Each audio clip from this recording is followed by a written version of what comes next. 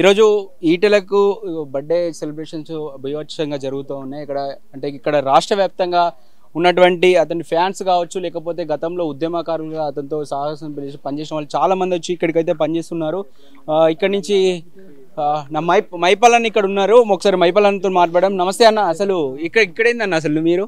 అన్న బర్త్డే ఉంది కదా మనకు కూడా పిఎంఆర్ టీవీ ఛానల్ ఉంది కదా న్యూస్ కవర్ చేయడానికి వచ్చినాం. ఇది అసలు మీరు ఇటు రావడం ఏందని? వాళ్ళు చాలా మంది అంటే అన్నది బర్త్డే ఉంది ఛానల్ ద్వారా కొంత కవర్ చేయండి అంటే వచ్చినాం ఇది చేసినాము. ఏంటి? బస్సుల మీద చూసిరా అన్న నేను వస్తుంటే చూసిన బస్సులు వేసుకుని మరీ వస్తారు అవునవును నేనే షాక్ అయిపోతున్నా. కొన్ని వందలాది మంది వేల మంది పొద్దున్న నుంచి వస్తున్నారంట కటౌట్లు కూడా చూస్తుంటే షాకింగ్ అనిపిస్తుంది. సరే అన్న కూడా మంచోడే కాబట్టి చాలా మంది వస్తున్నట్టున్నారు. ఎట్లా అంటే మీరు ఇప్పుడు బీజేపీ సపోర్ట్ చేస్తున్నట్ట? నేను బీజేపీ సపోర్టర్ని కాదు. జస్ట్ ఇప్పుడు మనకు మీడియా ఉంది కదా ఇప్పుడు మీరు లెజెండ్ టీవీ వచ్చింది.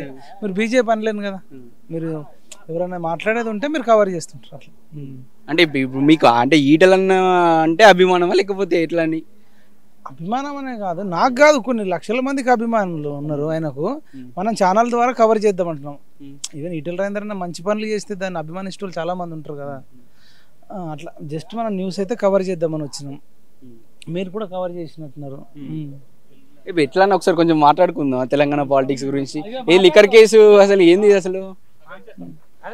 అదే లిక్కర్ స్కామ్ అంటే లిక్కర్ స్కామ్ కదా. చాలా మంది ఏమనుకుంటారంటే లిక్కర్ స్కామ్ అనుకుంటారు. Liquor Delhi liquor policy scam policy scam policy అంటే వీళ్ళు ఏం చేశారంటే గతంలో ఉండే లిక్కర్కి సంబంధించిన పాలసీ గతంలో ఏంటంటే గవర్నమెంటే అమ్మేది. గవర్నమెంట్ ఏంటంటే అక్కడక్కడ సివిల్ సప్లయర్స్ అని ఉండేసి కొన్ని కొన్ని అమ్మేది దానికి టైం ఉండేది. అప్పుడప్పుడు అంటే సాయంత్రం కాగానే క్లోజ్ చేసేది ఒక ఐదారు గంటల పర్మిషన్ ఉండే. మన కవిత ఎంట్రీ అయింది ఏంటంటే కల్వకుంట్ల చంద్రశేఖరరావు కూతురు ఎంట్రీ అయిందంటే ఇట్లా కాదు మనం బాగా డబ్బులు సంపాదించాలని ఒక స్కెచ్ చేసినట్టుంది. ఆ స్కెచ్ చేసి వీళ్ళు ఏం చేశారంటే ఆ పాలసీ కొత్త పాలసీ తయారు చేసి ఆ కొత్త పాలసీలో ఏంటంటే ఆ ఇంటికే ఇంటికే లిక్కర్ పంపిస్తారట. ఇంటికే లిక్కర్ పంపించడము తర్వాత డోర్ డోర్ డెలివరీ అదే ఇంటికి. తర్వాత ఇరవై సమ్ నైట్ మూడు గంటల వరకు వరకు కూడా లిక్కర్ అమ్ముకోవచ్చు. ఇట్లాంటి పాలసీలు పెట్టి ఈమె ఏం చేసిందంటే కొద్దిమంది ఈమె మనుషుల్ని పెట్టి ఈమె డైరెక్ట్ ఇన్వాల్వ్ లేదు. కొద్ది మనుషుల్ని పెట్టి ఒక వంద కోట్ల వరకు లంచం ఇచ్చిందట ఇట్లా కొత్తగా పాలసీ చేయండి అని. అంటే ఈమె ఢిల్లీలో పంజాబ్లో అదంతా దేశవ్యాప్తంగా లిక్కర్ అమ్మి ఫ్యూచర్లో ఈ తెలంగాణ రాష్ట్రానికి సీఎం అయిదామని స్కెచ్ గీసింది డబ్బులు సంపాదించాలని. అప్పుడు అందుకే ఇరవై లక్షల వాచ్. ఏంది ఇరవై లక్షల వాచ్ పెట్టినామని ఆ టీవీ నేను రజనీకాంత్ అడిగితే కష్టపడితే వస్తాయండి చెమటోడ్చాలి కష్టపడాలి అన్నది. ఆడు మల్లారెడ్డి కదా పాలు అమ్మిన పూలు అమ్మిన అన్నట్టు వీళ్ళు ప- పాలు అమ్ముతుర్రు ఎంతో మంది పూలు అమ్ముతుర్రు ఎవడు కోటీశ్వర్లు కాలే వీళ్ళు ఎట్లుంటుంది అంటే చెప్పేది ఒకటి ఉంటుంది. అంటే రెండు ఫేసులు ఉంటాయి. చెప్పేది ఒకటి ఉంటుంది వాళ్ళు బ్యాక్గ్రౌండ్లో ఏ గవర్నమెంట్ ఉంటే ఆ గవర్నమెంట్తో మంచిగుండి అక్కడ చుట్టుపక్కల ఉండే అసైన్డ్ భూములు ప్రభుత్వ భూములు చెరువులు కుంటలు అన్ని కబ్జాలు చేసి వాటిలో కట్టుకొని ఇట్లా చేస్తుంటారంట అట్లనే కవిత కూడా ఈమెకి ఎటువంటి డైరెక్ట్ వ్యాపారం లేదు. ఒక వెయ్యి రెండు అంటే ఒక వంద రెండు వందల కోట్ల ఇల్లు ఉంది. అసలు ఎట్లా వచ్చింది? కేవలం కేసీఆర్ కూతురు అయితే వచ్చేస్తుందా? సీఎం కూతురు అయితే వస్తుందా? పెద్ద చోర్ ఇంత పెద్ద దొంగ భూమి మీద ఉండదు కాబట్టి ఈ వచ్చే ఎన్నికల్లో కేసీఆర్ సిగ్గులేనోడు సొంత కూతురునే కంట్రోల్లో పెట్టుకోలేడు. ఈమె గతంలో ఒకటి వీడియో వైరల్ అవుతుంది.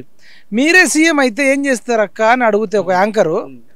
నేను సీఎం అయితే అని నవ్వి ఖుషి అయి లోపట అవాయిడ్ ఆల్కహాల్. ఆల్కహాల్ నిర్మిస్తే అది కొంత కష్టమైనా సరే ఇన్కమ్ తక్కువైనా సరే అని చెప్పింది. ఇప్పుడు అసలు ఎటువంటి ఇట్లా. అంటే ఇవాళ కవిత గారు చేసిన పనికి కేసీఆర్ తల దించుకుని పోతున్నాడు. ఇంకా సిగ్గు లేకుండా ఏం ముఖం పెట్టుకొని కాదు ఇంకా ఏం ముఖం పెట్టుకొని ఎంపీ ఎలక్షన్లో వస్తున్నాడు కేసీఆర్? వాడు హరీష్ రావు కేటీఆర్. ఎంతో మంది మీద అక్రమ కేసులు పెట్టి ఏడిపించిర్రు పోలీస్ స్టేషన్ల చుట్టూ జైళ్ళ చుట్టూ తిప్పిర్రు. ఇవాళ ఏమైంది? కర్మ. ప్రకృతి సిద్ధాంతం పగబట్టి మేం చేయలే.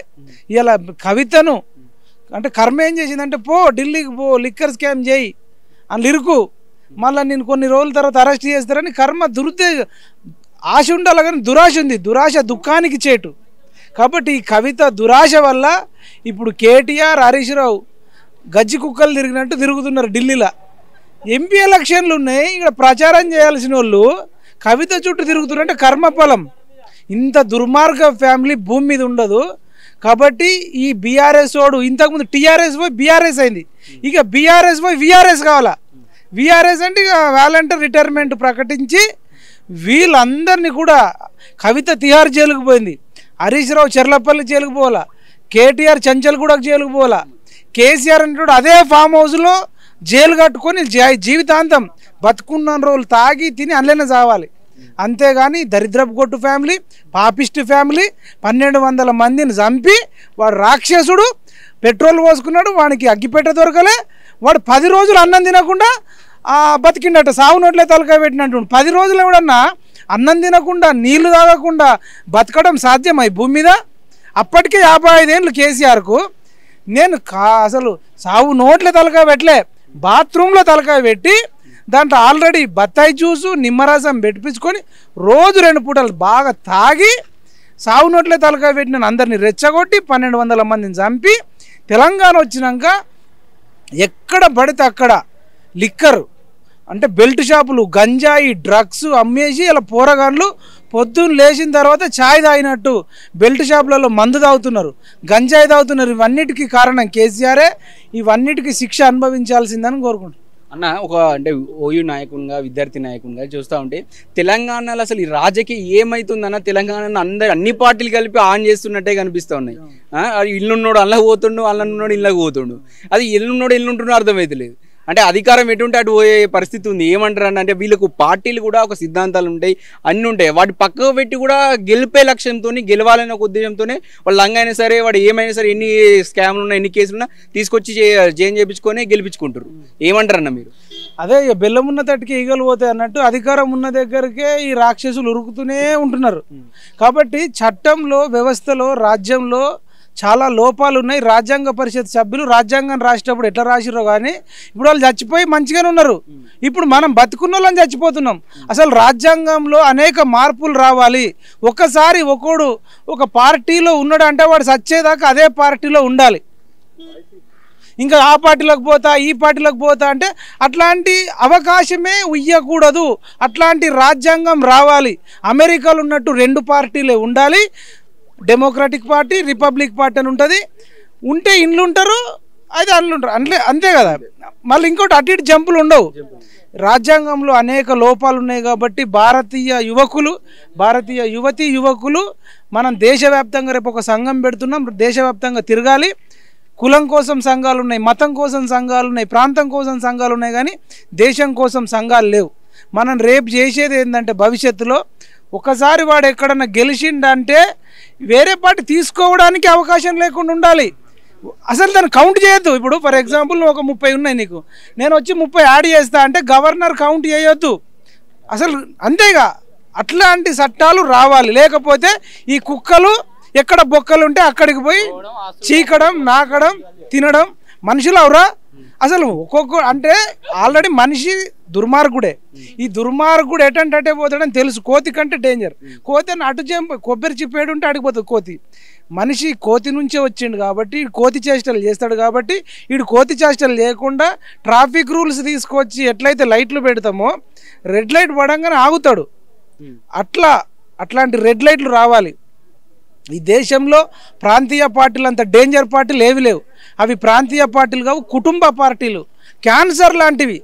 కేసీఆర్ లాంటివి చూసిన తర్వాత మనకు ఏమర్థమైంది? ప్రాంతీయ పార్టీలను ఈ దేశంలో బ్యాన్ చేయాలి. రెండు జాతీయ పార్టీలు ఉండాలి. ఒకసారి ఒకడు ఒక పార్టీలో జాయిన్ అయ్యిందంటే లైఫ్ లాంగ్ దాంట్లోనే ఉండాలి.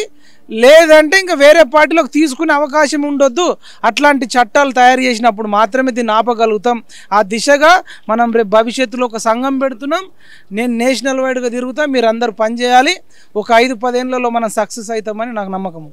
ఇంకో మల్లారెడ్డి మల్కాజ్కి సంబంధించి మల్లారెడ్డిని చూసుకుంటే కొడుకు నిలబెడదాం అనుకోండు. దాని టార్గెట్గా మనకు అంటే క్లారిటీగా అర్థమవుతుంది. రేవంత్ రెడ్డి దాడులు చేయించాడు దానివల్ల వీళ్ళు డ్రాప్ అయిపోయారు. కేసీఆర్ దగ్గర పోయి నేను పోటీ చేయమని చెప్పారు. అంటే ఇక ఏందన్నా అసలు రాజకీయం కోసం అతని మీద దాడి చేయడం మళ్ళీ కాంగ్రెస్లోకి వచ్చే అవకాశం ఉంది కూడా అంటారు వీళ్ళే రాణిత్తలేరు రేవంత్ రెడ్డి రాణిత్తలేరు అంటారు మీరు ఏమంటారు అన్న ఇది ఒక రాజకీయం ఏంటంటే అది చాలా మంది పేదల నిన్న మొన్న చూసాము చాలా యూనివర్సిటీ అగ్రికల్చర్ యూనివర్సిటీలో ఎంతమంది డిబార్ చేసారు ఇప్పుడు వాళ్ళందరి పరిస్థితి ఏంది? చాలా అన్యాయాలు ఉన్నాయి. కాకపోతే వాళ్ళు వచ్చి బయటకు చెప్పుకోవద్దట. వాళ్ళ వాళ్ళ కోడలు వచ్చి బయటికి మాట్లాడుతోంది నిన్న మొన్న. వాళ్ళ కొడుకు వచ్చి మాట్లాడుతుండు. ఎట్లా వస్తాడు? మైనంపల్లి లోపలికి ఎట్లా వస్తాడు? ఇప్పుడు అలాంటి ఒక అండర్లోనే అంతమంది ధైర్యం ఇచ్చిండు కాబట్టి ఆయన వచ్చిండు లోపలికి. కానీ ఎట్లా వస్తాడని మాట్లాడుతారు మీరు ఏమంటారు అన్న ఈ ఇష్యూ దేని వల్ల? అంటే కు- మామూలు కాదు. వా- లక్షల డొనేషన్లు తీసుకుంటుండు ఇక్కడ. ఈ మల్కాజ్గిరి ఈ ఏరియాలో మొత్తం ఆయన గుప్పిట్లో పెట్టుకునే పరిస్థితి. మల్లారెడ్డి బాధితుని నేను కూడా. దుండిగల్లో మల్లారెడ్డి వాడు అనుచరులతో కేసు పెట్టిస్తే దుండిగల్కి పోయి ఇప్పటికే కేసు ఉంది. వాడు మనిషి కాదు నరరూప రాక్షసుడు. పైకి జోకులు మాత్రమే చేస్తాడు. లోపట విలను.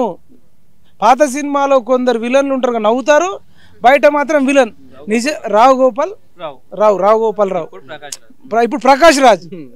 వాడంటే బయట జోకులు చేస్తాడు. అసలు మల్లారెడ్డి అయితే ఈజ్ ఎ క్రిమినల్ అండి. ఏ ఆయన ఎట్లా బతుకుతుండంటే ఏ పార్టీ అధికారులు ఉంటే ఆ పార్టీకి పోయి వంద కోట్ల రెండు వందల కోట్ల ఇస్తా. కానీ నన్ను అరెస్ట్ చేయొద్దని ఇప్పటికీ ఇట్లనే వస్తుండు. ఈవెన్ ఎన్నికల కమిషన్ కూడా నేమ్ బీకలేకపోయింది. వాడు ఏం చేస్తుండంటే ఇప్పుడు మూడు సార్లు పోటీ చేసిండు కదా. ఒకసారి పోటీ రెండు వేల పద్దెనిమిదిలో వేసినప్పుడు ఇంటర్మీడియట్ కాలేజ్ వేరేది పెట్టిండు. మొన్న ఇరవై మూడు ఇరవై నాలుగులో పో- ఇరవై మూడులో పోటీ చేసినప్పుడు ఇంకో కాలేజ్. ఇప్పుడు నువ్వు ఒకసారి ఇంటర్మీడియట్ ఒక కాలేజ్లో జాయిన్ అయితే లైఫ్ లాంగ్ అదే ఉంటుంది కదా.